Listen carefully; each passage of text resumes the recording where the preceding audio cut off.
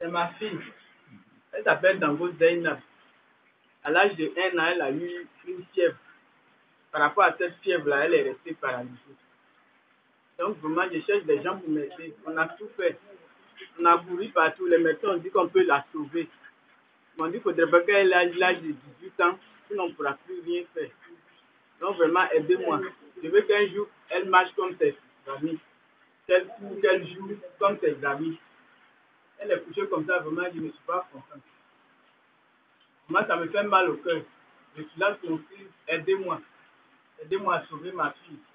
Aidez-la à ce qu'un jour, elle marche, elle crie autorité au, président de la République, à sa femme, vraiment de nous aider, aux bonnes volontés, de nous aider. Elle doit subir une opération, donc quand nous aider. Quand nous aider, vraiment, je veux qu'elle joue comme ses amis, je veux qu'elle court comme ses amis, je veux qu'elle marche comme ses amis. Mais n'ont qu'à m'aider. Je ne sais plus où mettre la tête. Aidez-moi.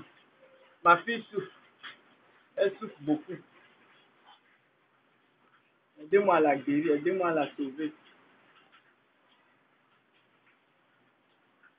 Elle est paralysée des, des deux membres, Elle est paralysée.